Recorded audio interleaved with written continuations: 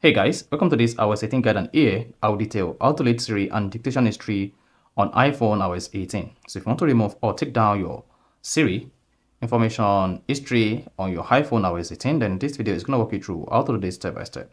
So if I don't know this, you found this often informative, please don't forget to like and subscribe. Now the first thing to do when you want to delete Siri history and dictation history is go to your iPhone settings. On the settings page, just scroll down and click on Siri. Now, while on the Siri page, you want to scroll down keep scrolling until you get to Siri and dictation history and then go ahead and click on that. Then once you click on that, you see delete Siri and dictation history and then click on it. You spot that says Siri and dictation interaction currently associated with this phone will be deleted from Apple server. Then go ahead and click on delete Siri and dictation history. Then hang on, then you see a pop that says your request is being processed. Your Siri and dictation history will be deleted. So go ahead and click on OK. And once you're done, the Siri and dictation history will be deleted on your iPhone iOS 18. So if you found this often informative, please don't forget to like and subscribe.